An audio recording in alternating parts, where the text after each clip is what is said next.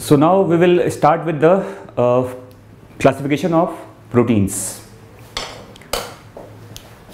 We can classify the proteins in, in several uh, ways like uh, what are the functional proteins, what are the structural proteins on the basis of their uh, essential and non-essential composition of amino acids. Classification of proteins classification of proteins.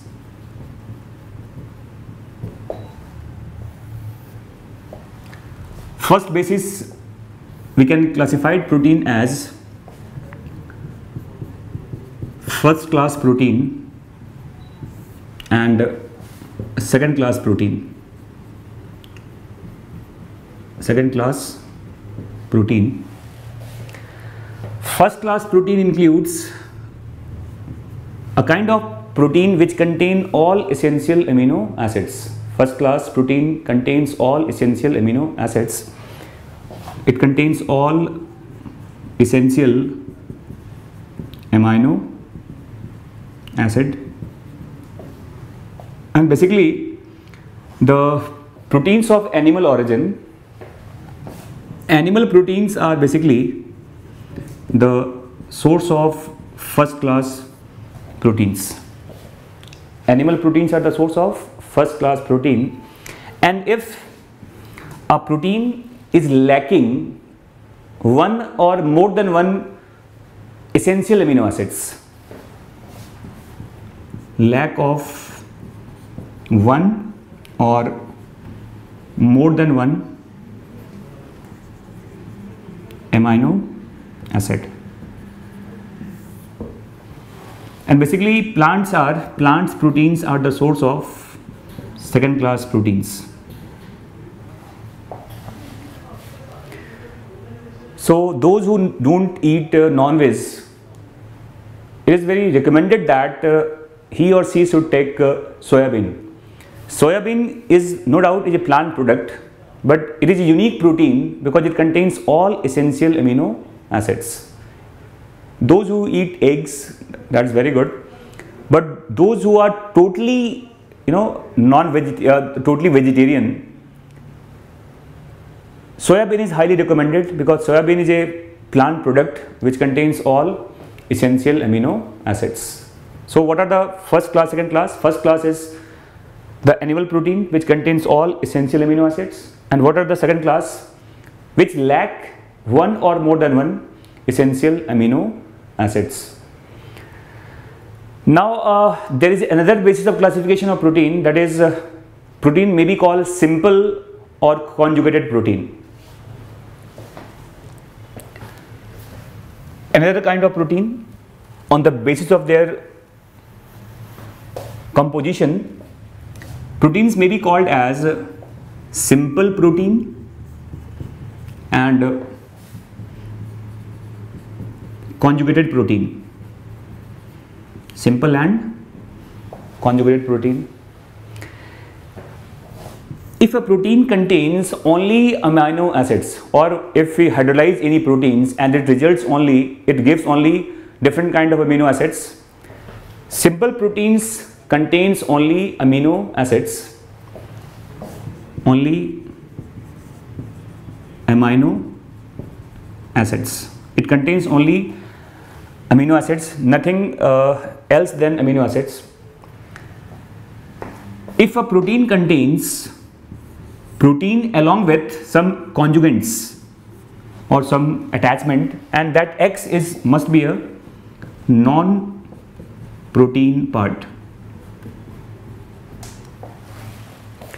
For example, uh, in our body albumin, albumin, globulin, keratin, histone protein that is present in DNA. There are certain protein called glutelins, glutelins, all are present in plants. These are the example of some simple proteins that contains only different number of amino acids. Now, if we talk about conjugated proteins, for example, this term called glycoproteins. You know, there is uh, carbohydrates, glyco साथ में, uh, there is called protein, glyco and proteins. Similarly, there is uh, called lipoproteins. Here is X is some kind of lipid and here is X is carbohydrate. For example, uh, HDL, LDL, chylomicrons. These are the example of uh, lipoproteins, high density lipoproteins, low density lipoproteins, chylomicrons. These are the example of lipoproteins. Similarly, uh, there is a term called nucleoproteins. Nucleoproteins that is present in our DNA, RNA. Similarly, there is a protein called phosphoprotein. Phosphoprotein present in casein. You know casein, what is that? Casein is a kind of milk protein. It's a kind of milk protein and it is an example of phosphoproteins. Similarly, there's a term called metalloproteins. Metalloproteins. Example, ferritin. A protein which contains iron, they are called metalloproteins. Similarly, they are called chromoproteins chromoproteins that imparts color that imparts some kind of different color like uh, hemoglobin hemoglobin myoglobin hemocyanin hemocyanin that impart blue color cytochrome. These are example of chromoproteins and that is the example of conjugated proteins. It means conjugated proteins contains something other than proteins and that must be a non-protein part and these are the various kind of examples of conjugated proteins. Now the third type of uh, classification of protein is based on its function. What kind of protein is present in our body and what and how it is involved in our body functions. So the third classification is based on its function.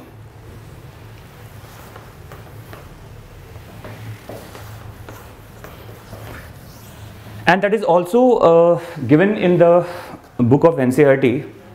NCERT is classified only protein on the basis of their function. For example, our body contains uh, collagen. Our body contains keratin. And we know that these are the structural component of the body and that's why they are called they are called structural proteins. Similarly, our muscles contains actin, myosin, it can be yeah, or it is said that it is an example of contractile proteins. Similarly, we talk about uh, pepsin, pepsin, trypsin. This is the enzymatic part of the body and that's why it is said that it is an example of enzymatic proteins. Similarly, if we talk about insulin, growth hormones, or several, uh, uh, most of the hormones are peptide only. Most of the hormones are peptides only. For example, insulin, growth hormone, calcitonin, parathyroid hormones, whatever oxytocin, vasopressin. These are the example of hormonal proteins. Hormonal proteins.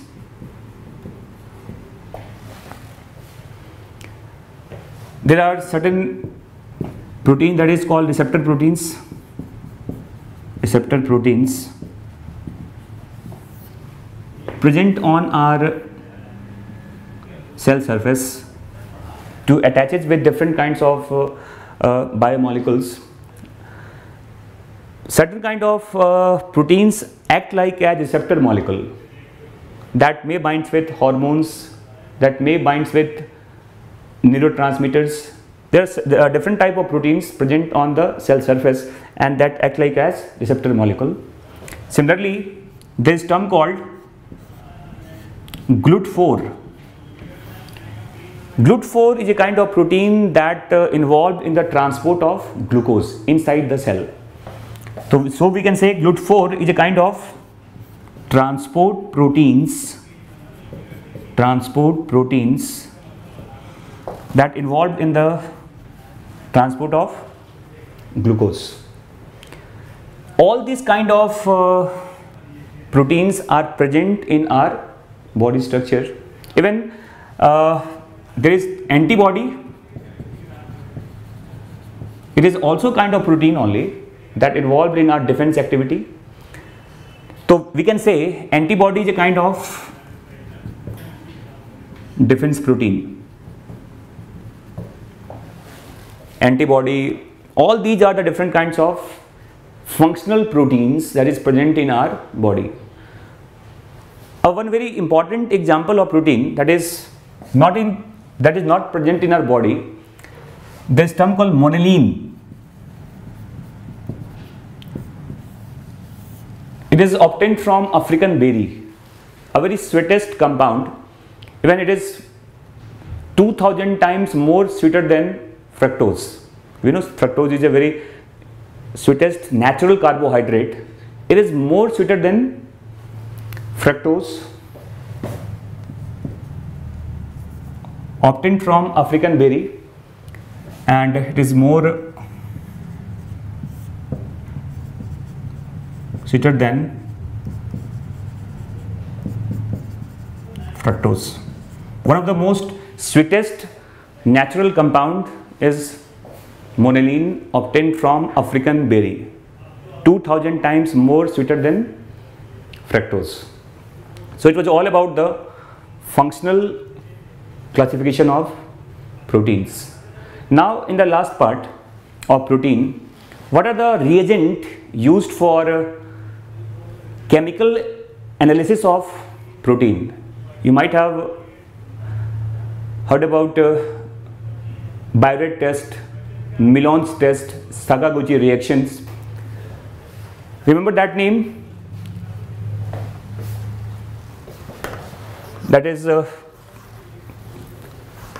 chemical analysis of protein and that includes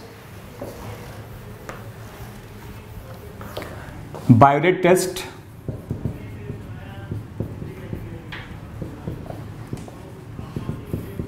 Millon's test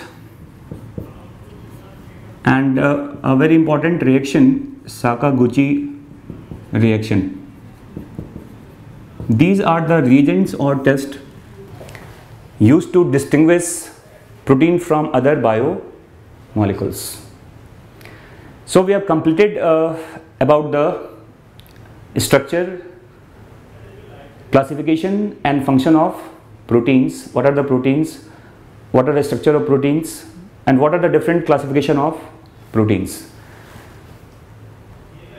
So till now we have completed uh, about uh, carbohydrates, proteins the third part of uh, biomolecule is the structure and property and function of lipids. So the next part of this biomolecule chapter is the structure of lipid. What is lipid? What is the property and what is the function of lipids in our body? So in the next section we will start with structure of lipid.